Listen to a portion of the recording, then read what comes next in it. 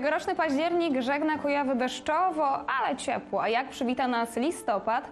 Sprawdźmy. Angelika Bednarska, witam Państwa i zapraszam na aktualne prognozy. Dzisiejsza noc w całej Polsce będzie pochmurna i też deszczowa. O poranku Termometry średnio wskażą od 8 do 10 stopni, chłodniej na północy. Tutaj prognozujemy od 3 do 7, w górach spadki do 2 stopni Celsjusza. Wiatr nadal będzie dość silny w porywach do 50, a w regionach południowych nawet do 70 km na godzinę.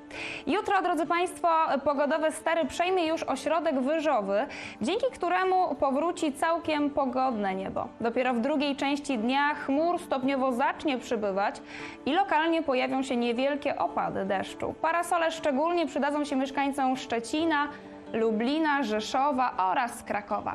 Jak na pierwszy dzień listopada termometry w dalszym ciągu będą wskazywały bardzo wysokie wartości. Od 9 stopni w Olsztynie i do nawet 15 w okolicach Wrocławia. Co w regionie? Otóż zarówno wieczorem, jak i w nocy nad województwem przeważać będą frontowe chmury, które przyniosą lokalne opady deszczu. O poranku temperatura będzie dość zróżnicowana. W Tucholi około 4 stopni, w Toruniu, w Brodnicy 6 6, a we Włocławku nawet 8. Wiatr w naszym województwie rozpędzi się do 55 km na godzinę.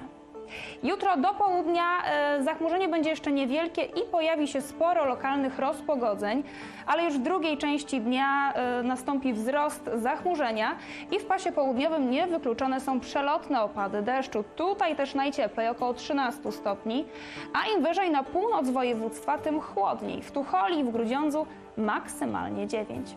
Na teraz to już wszystkie informacje. Życzę spokojnego wieczoru i do zobaczenia.